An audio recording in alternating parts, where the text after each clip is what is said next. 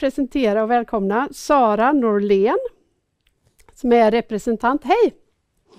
Du är representant för barnrättsorganisationen Erikshjälpen, också eh, kallad Eriks Development Partner i internationella eh, sammanhang. Eh, och du är programrådgivare i teamet som har ansvar för kvalitetssäkring och programrådgivning på ett globalt plan. Vad säger du om den presentationen? Oj, den tackar jag för så mycket. Ja. Eh, jag lämnar över till dig, Sara. Mm. Hör ni mig? Det gör vi. Vad bra. Då tackar jag så jättemycket för den eh, introduktionen. Och så vill jag passa på att tacka dig Åsa också för ehm, excellenta eh, genomförandet här och att du delar egna erfarenheter. Det är ju toppenbra tycker jag. Och även tack så jättemycket för tidigare presentationer. De har varit väldigt eh, eh, lärorika och jätteintressanta att lyssna på, tycker jag. Det är väldigt roligt att få vara med och delta här idag som representant för Erikshjälpen. Först så vill jag passa på att eh, dela lite vilka vi är, för det är kanske inte alla som har hört talas om Erikshjälpen tidigare. Ska vi se om jag får med mig mina slides där ja. Erikshjälpen är en barnrättsorganisation. Med barns drömmar som drivkraft vill vi på Erikshjälpen vara med och förändra världen.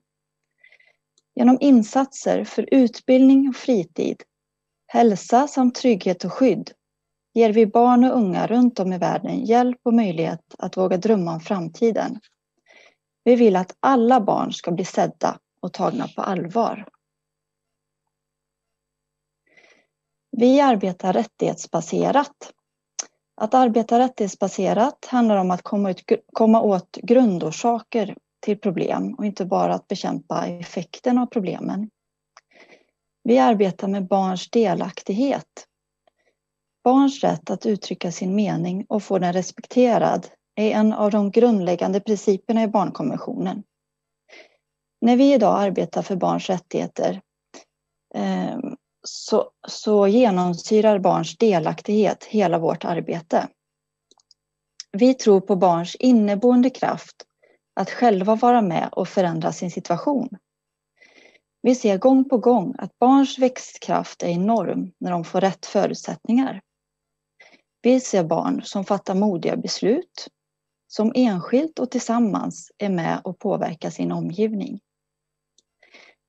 Eh, Erikshjälpen, vi arbetar genom lokala partnerorganisationer. För internationellt så implementerar vi inga egna projekt utan vi, vi samarbetar med partners på plats.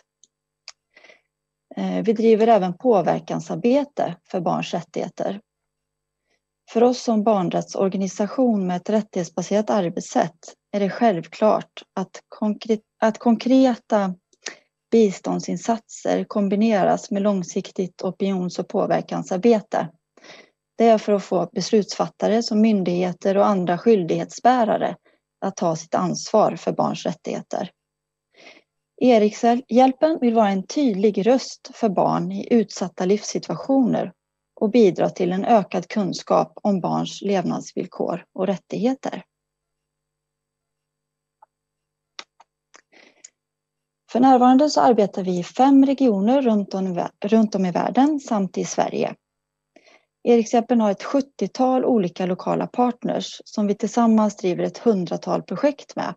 Så vi har ett ganska stort nätverk eh, globalt sett.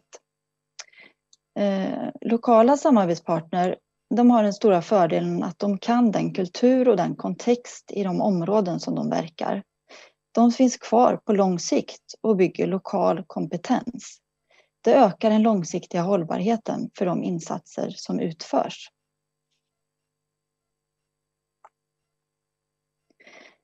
Utöver att vi är en barnrättsorganisation så är vi också en second hand-förening som genererar medel till arbetet för barns rättigheter. Idag finns det ett 60-tal butiker i Sverige och två butiker i Norge vi är även stolta att vi driver en av Sveriges, eller det, för, Sveriges första ska jag säga, fullskaliga e-handelsbutik med second hand-sortiment. Det är secondhand.se för de som är intresserade.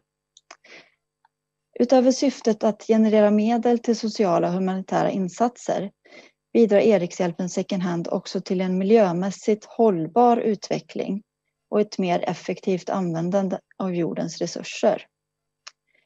Erikshjälpen Second Hand tar också ett stort socialt ansvar genom att ge utsatta människor som lever i olika former av, av utanförskap kan man säga, socialt eller ekonomiskt. De får en möjlighet att genom gemenskap, arbetsträning och till exempel praktik hitta vägar till personlig utveckling och en väg tillbaka in i arbetslivet. Nu till dagens ämne då. Barns rättigheter. Det gäller även flickor med mens. Mensfattigdom berör alla tematiska områden som Erikshjälpen arbetar inom med fokus på jämlikhet utifrån ett genderperspektiv. För oss så handlar det om flickors rätt till utbildning och fritid. Det är flickors rätt till hälsa. Flickors rätt till trygghet och skydd. Vi har också humanitära insatser och där, gäller mens, där är ju mensfattigdom också väldigt relevant för att de behoven relaterat till menstruation försvinner ju inte även om det är en humanitär situation. Vi ser även, ser även möjligheter till kapacitetsuppbyggnad. Att eh, bygga kapacitet eh, för våra lokala partners inom ämnet så att de kan få upp ögonen för detta och integrera eh, åtgärder för det i många olika typer av projekt. I dialogen med våra regionkontor och samarbetspartner så ser vi en mix av liknande problem i våra programländer. Det är alltifrån Öst och Västafrika, Asien och Europa. Stigma, tabu, brist på värdighet, skolfrånvaro, fattigdom, diskriminering, otillräcklig kunskap, brist på vatten, sanitet, brist på hygienartiklar, att det är skamligt, att du kan få en tidig graviditet, oönskad graviditet, barnäktenskap, restriktioner, begränsningar, ojämlikhet, infektioner, utsatthet. Listan är ganska lång.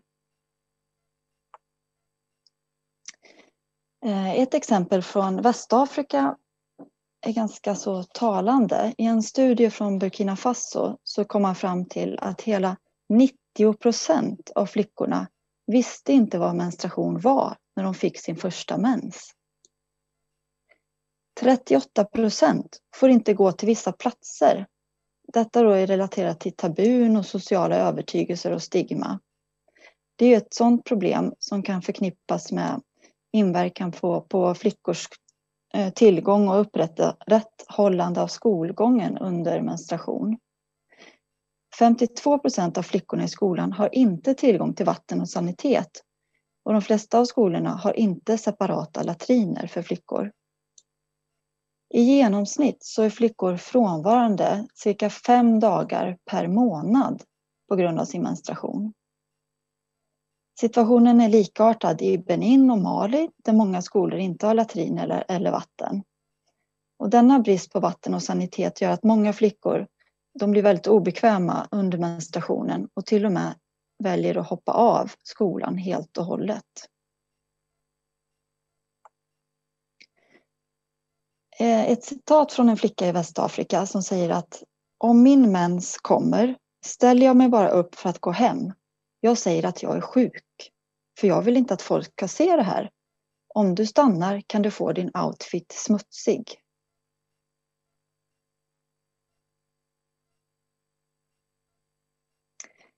Om vi går vidare till Sydostasien och exempel därifrån. Då säger man att Flickor är ofta i chock när de får sin första mens. För att beskriva en flickas första mens använder khmertalande också frasen Shulmlup, vilket betyder i skuggan. Ni får ursäkta mig om det är någon som är khmertalande här, för det är inte jag. Ehm, um, Shulmlup, det betyder i skuggan då som sagt och det kan ju sägas visa uppfattningen eh, kring menstruation som något tabubelagt som ska gömmas undan. Och um, kulturella istället för medicinska normer råder. Till exempel så får inte flickor duscha under sin mens och flickor kan förbjuda bjuda dem från att simma, ha rädsla för att de ska smutsa ner vattnet. Man kanske inte får äta vissa livsmedel som tros störa menstruationscykeln och så vidare. Kambodjaner ser menstruation som smutsiga, vilket gör menstruation till ett tabubelagt ämne inom landet. Och det leder till ett stigma som fortsätter att begränsa kvinnors beteende.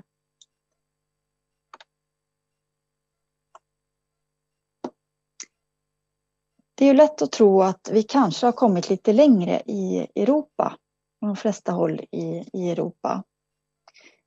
Men ett citat från en flicka i Moldavien. Hon säger så här att jag har försökt beröra ämnet menstruation några gånger i skolan. Men läraren hånade min avsikt och sa att det är skamligt för en flicka att prata om menstruationscykeln. Särskilt med pojkar. Eh, några klasskamrater, både pojkar och flickor, började också skratta. Jag ser inget skamligt i att prata om vår hälsa, oavsett om det handlar om flickors hälsa eller pojkars hälsa. Vi har alla, oavsett kön, samma rättigheter.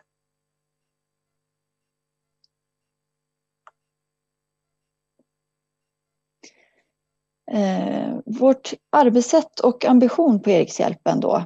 Eh, vi vill satsa mer på projekt som mildrar menstruationsfattigdomen för flickor. Eh, och gärna då med fokus på effekterna för flickors utbildning, hälsa och trygghet och skydd eftersom det är de tematiska områden vi arbetar inom.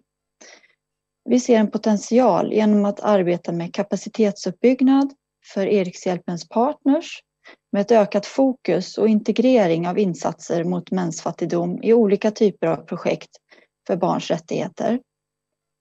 Vi vill arbeta mot stigma.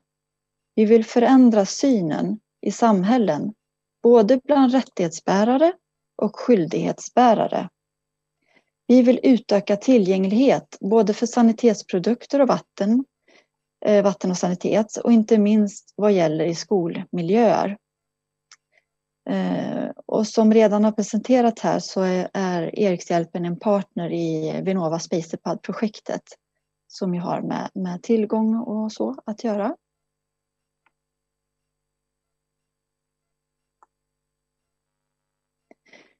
Menstruation ska accepteras som en normal biologisk händelse, inte som en skamlig hemlighet. Flickor och unga kvinnor måste kunna stanna kvar och lyckas i skolan. Både flickor och unga kvinnor måste kunna fatta välgrundande beslut om sin sexuella och reproduktiva hälsa. Flickor och unga kvinnor ska kunna känna trygghet och vara skyddade från till exempel sexuellt utnyttjande och barnäktenskap.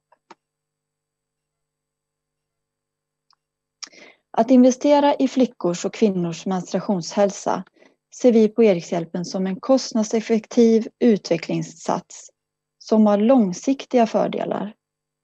Med ett bredare perspektiv så resulterar det i bättre sexuell och reproduktiv hälsa, minskad barn och mödradödlighet, det ger ökad utbildning, framförallt till flickor, ökad jämlikhet, vilket i förlängningen leder till en starkare ekonomisk tillväxt och en motvikt till fattigdom.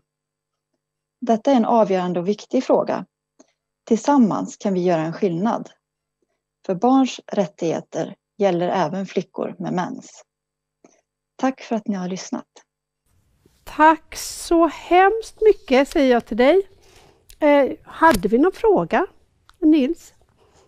Utifrån ett rättighetsbaserat arbete hur ska man se på flickors rättighet till tillgång till mensskydd? Vem är ansvarig i låginkomstländer, sådana som du har nämnt om här?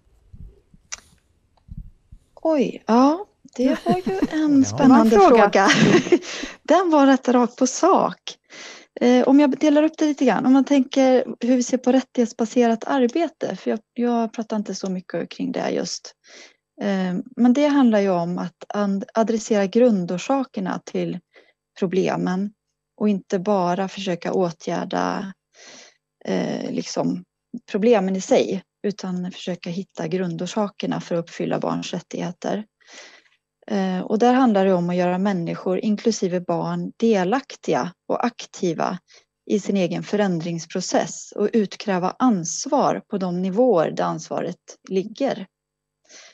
Eh, vi använder oss av, del, av en del grundläggande principer då, som barns medverkan, ansvarsfrågan, icke-diskriminering, vi har ett starkt genusperspektiv och så vidare i det arbetet.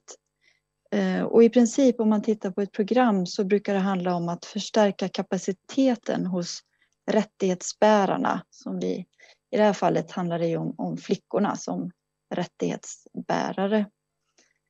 Eh, men även att förstärka kapaciteten hos skyldighetsbärarna eh, och förstärka provision och service där barns rättigheter inte uppfylls. Eh, nu förstår jag att din fråga handlar ju mer specifikt om skyldighetsbärarna och det kan ju se lite olika ut. Var det du, du, du tänkte framförallt på kan du upprepa frågan där om ja, provision? I, i låginkomstländer, ja. vem, vem egentligen ansvarar att se till att flickor, jag tänker fatt, fattiga flickor i skolor, de har inte råd att, till mensskydd. Vem är egentligen ansvarig, skulle du vilja säga?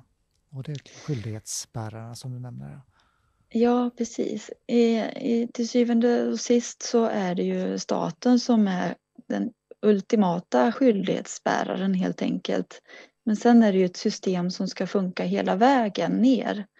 Eh, och det finns ju olika åtgärder för att få tillgången, för att få ökad tillgång helt enkelt till, eh, till skydd och så vidare. Men sen är ju frågan större än bara tillgång till produkter så att säga. Det handlar ju också mycket om stigmat och, och hela dialogen kring problematiken runt mäns fattigdom.